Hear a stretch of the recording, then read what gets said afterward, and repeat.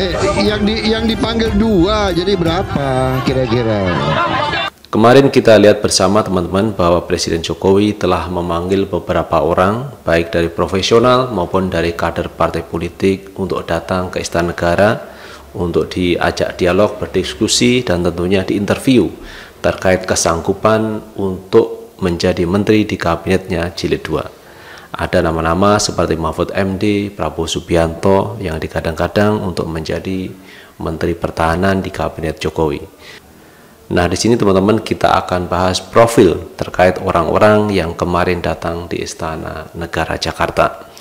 Namun sebelum lanjut, silahkan teman-teman tekan tombol subscribe dan tanda lonceng notifikasi agar tidak ketinggalan video-video terbaru dari kami. Eh, keputusan kami dari Partai Gerindra apabila diminta kami siap membantu dan hari ini resmi diminta dan kami sudah sanggupi untuk membantu.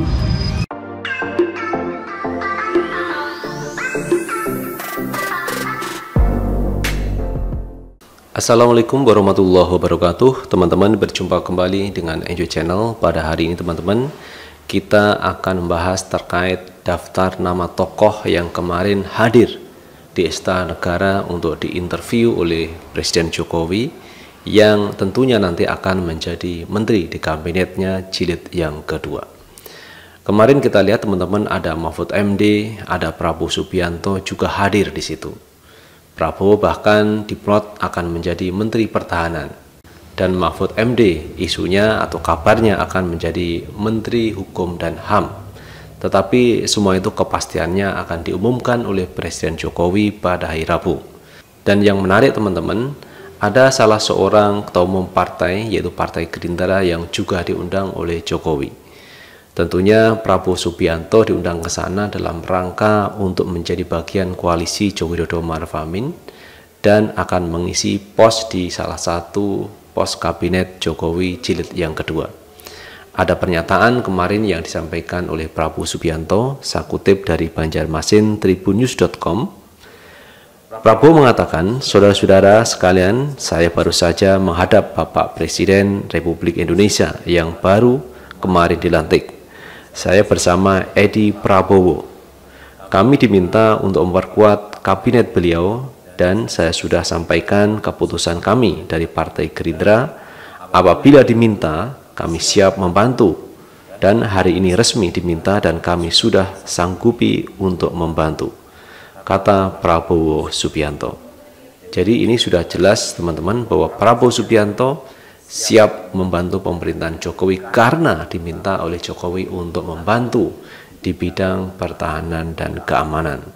Jadi sudah final bahwa Partai Gerindra hari ini bergabung dengan koalisi Joko Widodo Ma'ruf Amin di pemerintahan untuk 2019 sampai 2024. Nah teman-teman kita akan bacakan tujuh tokoh yang kemarin diundang ke istana untuk wawancara dengan Jokowi. Kita bacakan profil dari tokoh tersebut. Yang pertama adalah Mahfud MD. Mahfud MD ini kelahiran dari Sampang, Madura pada 13 Mei 1957. Pernah menjabat sebagai Ketua MK periode 2008 sampai 2013 dan Hakim Konstitusi periode 2008 sampai 2013. Mahfud MD juga pernah menjabat sebagai anggota DPR. Ia menjabat Menteri Pertahanan di Kabinet Persatuan Nasional di masa pemerintahan Abdurrahman Wahid dan Megawati Soekarno Putri. Sebelum menjabat menteri, Mahfud MD merupakan guru besar hukum tata negara di Universitas Islam Indonesia UII Yogyakarta. Ia tercatat menjadi guru besar termuda pada masanya bersama Yusil Isa Mahendra, yakni pada usia 41 tahun. Kemudian pendidikan dari Mahfud MD 1970. Beliau sekolah di SDN Waru Barat 1 Pamekasan. 1974 eh, beliau belajar di PGA Negeri Pamekasan. 1977 Pendidikan Hakim Islam Negeri Yogyakarta 1983 Fakultas Hukum UII Yogyakarta 1989 pasca sarjana bidang ilmu politik UGM 1993 program doktor ilmu hukum UGM kemudian karirnya atau pekerjaannya 2000 sampai 2001 Menteri Pertahanan Kabinet Abdurrahman Wahid. 2001 Menteri Kehakiman dan HAM Kabinet Abdurrahman Wahid. 2008 sampai 2013 Ketua MK kemudian tokoh yang berikutnya adalah Nadiem Makarim Nadiem Makarim merupakan pendiri startup Gojek Nadiem Makarim lahir di Singapura pada 4 Juli 1984 Pria ini berusia 35 tahun, memiliki saham terbesar di antara pemegang saham lainnya di Gojek. Nadiem Makarim diketahui duduk di kursi Dewan Direksi bersama enam orang lain yang sebagian besar merupakan koleganya. Ia pernah menerima penghargaan The Stride Time ASEAN of the Years pada 2016. Prestasi Nadiem ini menjadikannya sebagai orang Indonesia pertama yang meraih penghargaan tersebut. Tak hanya itu, Nadim juga pernah masuk dalam daftar Bloomberg 50 pada 2018. Berdasarkan catatan profilnya di LinkedIn, Nadim Makarim tertulis pernah menempuh studi Brown University sebelum akhirnya melanjutkan ke Harvard Business School. Pendidikan 2002 sampai 2006 kuliah di Brown University, Bachelor of Art International Relation and Affair. Tahun 2009 sampai 2011 Harvard Business School, Master of Business Administration MBA. Kemudian karir atau pekerjaan dari Nadiem Makarim. Pada Agustus 2006 sampai Maret 2009 bekerja di Associate MC Kinsey and Company. Pada November 2011 sampai Agustus 2012, Managing Director Zalora Indonesia. Pada April 2013 sampai Maret 2014 menjadi Chief Innovation Officer Kartuku. Kemudian pada Maret 2011 sampai sekarang CEO and Founder Gojek Indonesia, PT Gojek Indonesia. Itu teman-teman karir atau pekerjaan dari Nadiem Makarim yang luar biasa. Masih muda tapi jabatannya adalah jabatan yang strategis dan profesional di bidangnya. Kemudian tokoh yang berikutnya yang kemarin dipanggil ke istana adalah Wisnu Tama. Wisnu Tama lahir di Jayapura, Papua pada 4 Mei 1976 pria bernama lengkap Wisnu Tama Kusubandio terjun di dunia pertelevisian sejak 1992. Menurut catatan LinkedIn miliknya, ia mulai bekerja pertama kali di Indonesia di stasiun televisi Indosiar. Sebelumnya, Wisnu Tama telah berpengalaman sebagai asisten direktur di New England Cable New pada 1992 hingga 1993. Kemudian pendidikan dari Wisnu Tama adalah 1987 sampai 1988 Korabin International School kemudian 1988 1990 International School of Singapore 1990 sampai 1992 North University Navy Marine ROTC Naval Science and Operation Kemudian 1992 sampai 1993 Emerson College Communication. 1992 sampai 1994 Mount Ida College Liberal Arts. Nah, itu teman-teman pendidikan dari Wisnu Tama yang cukup luar biasa dan banyak kuliah di luar negeri. Kemudian karirnya ini juga cukup banyak pada Juni 1992 sampai Mei 1993 asisten direktur New England Cable New.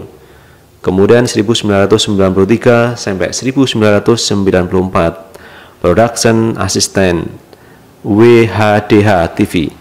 1994 September sampai Oktober 2001 Production Manager PT Indosiar Karya Media Tbk 2001 November sampai 2012 April Presiden CEO Trans TV Indonesia.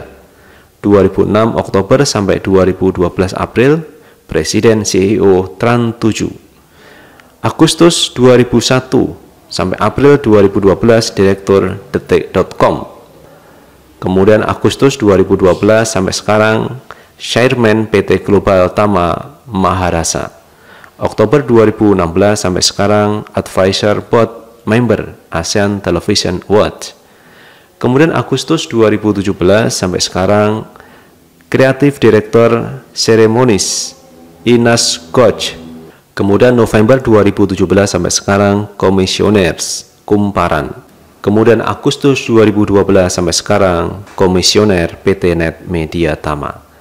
Kemudian yang keempat teman-teman, Tokoh yang kemarin dipanggil Jokowi adalah Erick Thohir. Erick Thohir adalah mantan ketua tim kampanye nasional Jokowi Dodo Ma'ruf Amin yang merupakan pengusaha dan pendiri Mahaka Group, perusahaan induk dari perusahaan yang berfokus pada bisnis media dan hiburan. Mahaka Group membeli Republika pada 2001, lalu saat media tersebut diambang kebangkrutan.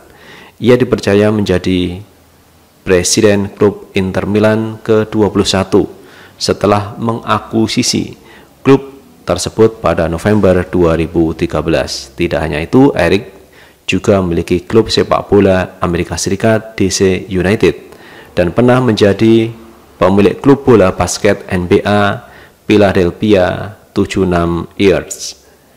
Kemudian karirnya dari 2004 sampai 2006 ketua umum Perbasi Kemudian 2006 sampai 2010 Presiden Direktur Asia Basketball Leagues. Kemudian 2007 2012 Presiden Board of Director TV One.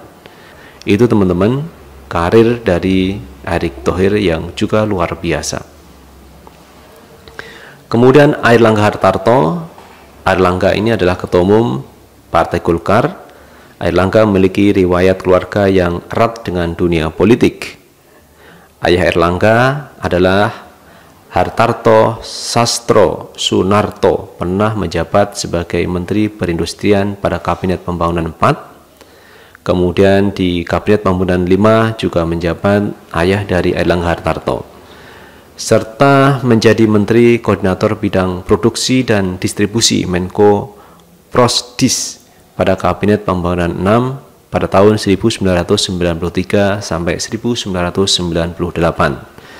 Sama dengan ayahnya, Airlangga juga menjabat sebagai Menteri Perindustrian pada kabinet di jilid yang pertama Kabinet Joko Widodo Yusuf Kala.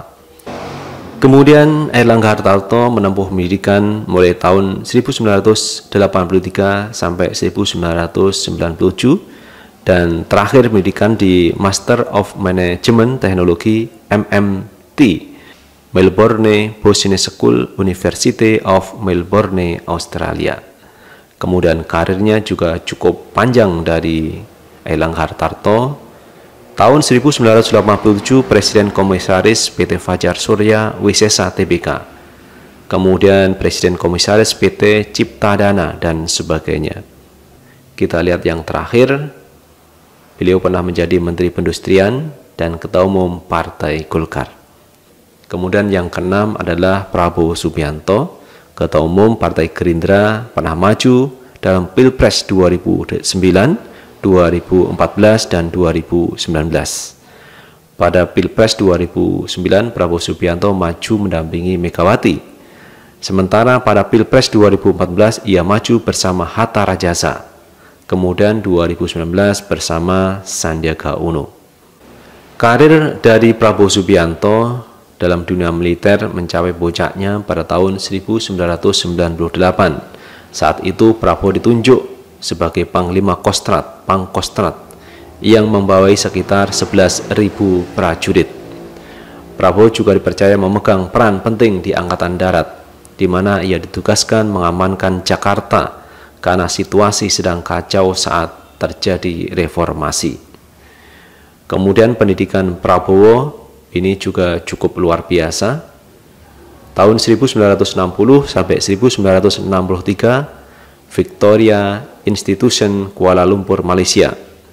1963-1964 International School Zurich Swiss. 1964-1967 American School London Inggris.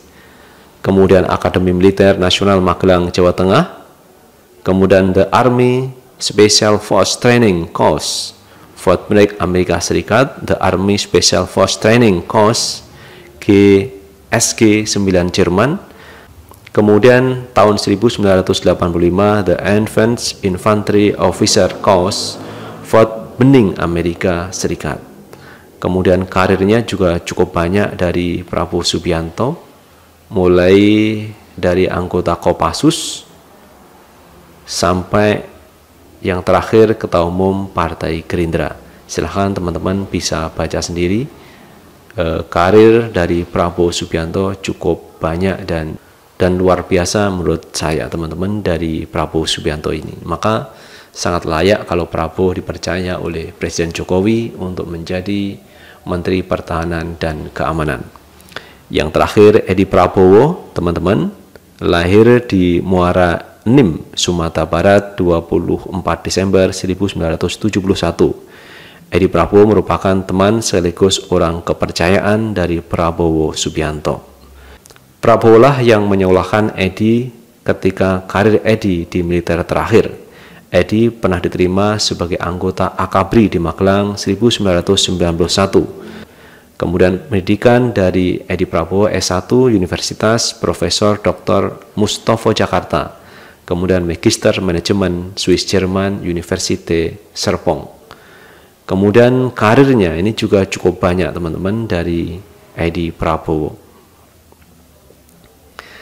Nah, itulah teman-teman dari beberapa tokoh yang kemarin dipanggil oleh Presiden Jokowi yang akan diplot menjadi Kabinet Joko Widodo Ma'ruf Amin di periode 2019-2024. Luar biasa profilnya dari Prabowo Subianto, Edi Prabowo, Mahfud MD, Wisutama, dan lain-lain sebagainya.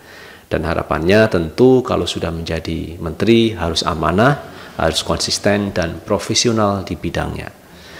Itulah teman-teman pembahasan kali ini dan terakhir jangan lupa tetap like, subscribe, dan komen di channel ini agar kita bisa membangun channel ini menjadi lebih baik lagi. Sukses selalu. Assalamualaikum warahmatullahi wabarakatuh. Bagi yang tidak serius, saya tidak akan memberi ampun. Saya pastikan, sekali lagi, saya pastikan pasti akan saya copot.